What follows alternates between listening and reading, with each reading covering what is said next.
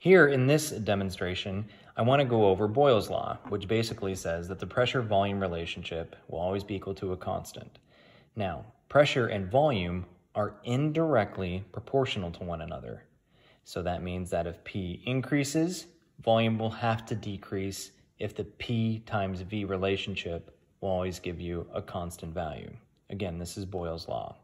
So if I'm taking a balloon that is a closed or fixed system that already has a certain amount of air molecule uh, particles that are already trapped within it, that can't increase or decrease, then the only things I can do here is I can try to decrease the volume of the space. And doing so, I can use my hand as, as the agent that's going to decrease the volume.